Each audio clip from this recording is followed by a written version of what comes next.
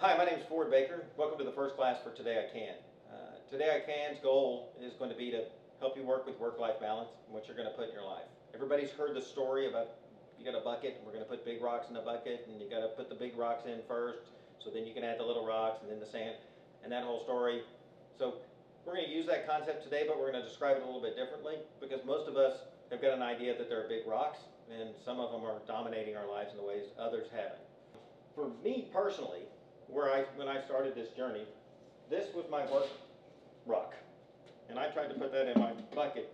And as you can see, I really couldn't get a whole lot of things else besides work in there. I do taxes for a living. All my clients have the same deadline. They have the same deadline every single year, and so it was uh, it was this period of time where I would literally work 24 hours a day, and trying to get other big rocks in there, no matter how small I made them, I couldn't get them in there. And what I eventually discovered was I really only could get the smallest of rocks in there, and they really weren't important, and they weren't that meaningful, and I, I really wasn't able to get anything done. It was all about work. And it, as I tried to cut that down and get it to be more manageable, even in a more manageable state, it dominated the bucket. And when I tried to add something else in there on top of it, just it just didn't seem to fit.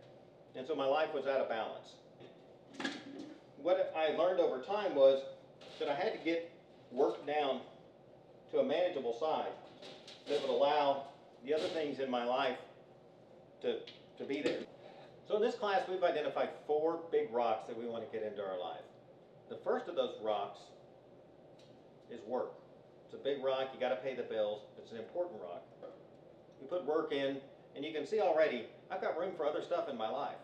For me, exercise became important, and so this was this is riding a bicycle.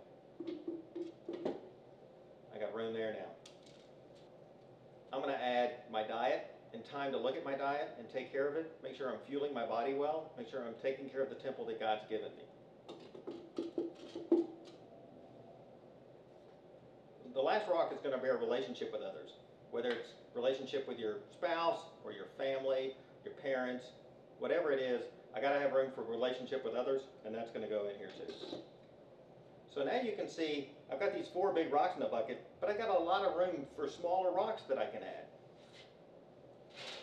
They can be important small rocks. Maybe you teach a Sunday school class. Maybe you visit your mom in a, in a, in a nursing home, or maybe you spend time doing something like that. Maybe you coach your kid's soccer team. Maybe you like to go hunting or read a book. You see, I got a lot of room. Before, I couldn't get those things in or I had to force them in, but here I've got a lot of room. In fact, I've got room for a lot of little rocks.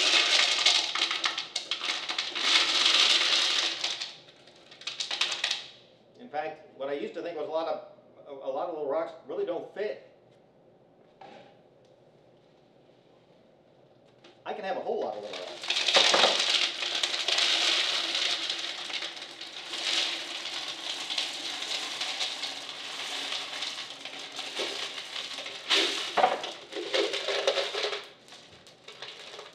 And maybe some of them bounce away or maybe some of them don't get in there. That's okay. They're little rocks. I've still got a lot of things going on here. Remember at the beginning of the presentation I talked about how all of this has to be covered with God. And we have to have we have to have a relationship with God that permeates all the areas that. So in this example, this is God.